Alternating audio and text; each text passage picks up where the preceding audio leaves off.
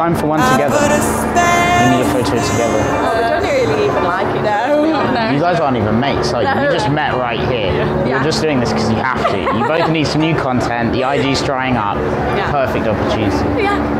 That's pretty cool. Where are you heading tonight, ladies? Cirque. Cirque. You're going to Cirque. Oh. We Don't don't know know what what. Cirque is. I imagine you're going to tell us. Are you from London? No. No. Oxford. No. Way off. Keep guessing. In the north. Yeah, yeah. You, you didn't even I know. did, Yeah. yeah. Two different places though. You've got two to guess. You won't guess mine though. Charlotte You're- got the answer. Doncaster. What the fuck? yeah. I, got I the am. accent. I'm, from there, but I'm. You're from I don't Donny. live Yeah. there. Okay, where do you live? Newcastle. Oh, that's actually an upgrade. That's an upgrade. Sorry, that's a massive upgrade. That's a massive upgrade.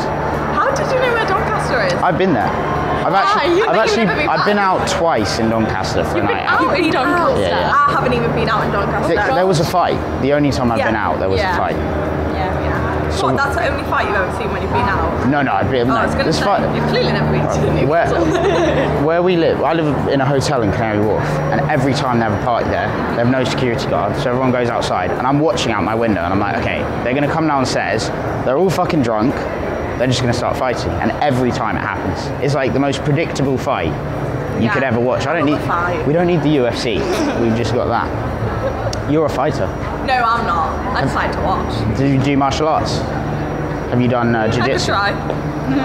I think it's pretty cool. I think girls should learn it. It's really sexy. When a girl fights, it's like it's really sexy. I don't think it is. I'd prefer not to fight. yeah. You prefer not to. Yeah. Yeah, but if you know how to, then you never need to, right? Because if you're ever in a position where you're like, okay, this guy looks shady, right? You can, you know that you've got it, so you never need to use it. I think Think about it. Think about it. Think about it. Quick call to action. If you guys need 15 minutes with me or more, book a call in the link in the description. I'm going to help you out for free, whatever your situation, wherever you are, whoever you are. What I'm teaching you is not easy, and it's even harder when you're doing it by yourself. I've been through it, I know how it feels. Book a call with me and I'll help you out for free. I expect nothing in return. Peace. You just need a mat. could You fight someone up.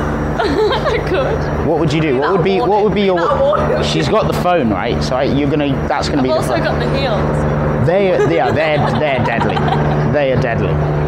Have you got rings? Have you got rings? No, I haven't. I Have you got? Okay, so she can go with the hands. She can go for the punch. You can go for the horse kick, I'm back kick. You guys are the I'm dream a team. You're a hair puller. Yeah. Doesn't really work on It's dudes. dude. Yeah, it would. But remember, most of the dudes that are fighting don't have any hair. So. So what?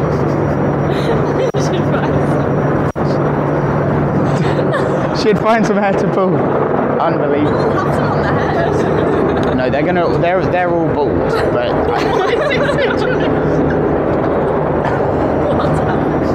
I don't know. Is someone gonna come out? We're gonna have to like defend ourselves. I don't. I mean, I just. I, I know. I wanted to give you uh, guys a picture because you look. You look nice together. To be honest.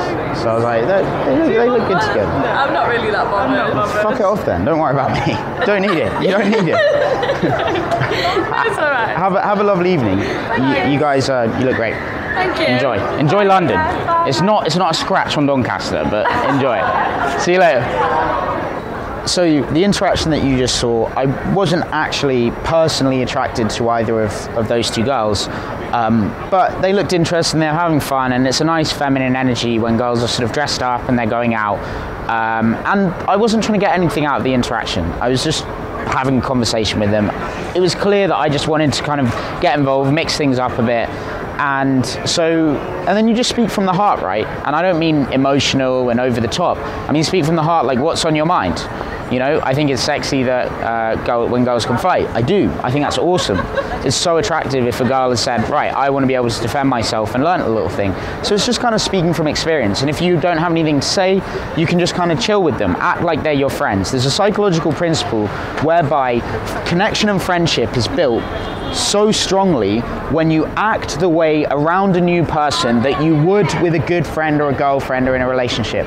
And so that's how it can manifest here. If you treat the girl you're talking to like you've known each other for years, you know everything about her, you know her nuances, you know how she is, she gets that feeling, then she feels connected to you. So by lowering everything, lowering that the energy, lowering the speed, lowering the tone of voice, just slowing everything down and becoming based, you are going to find that the interactions are more unique, they're more genuine.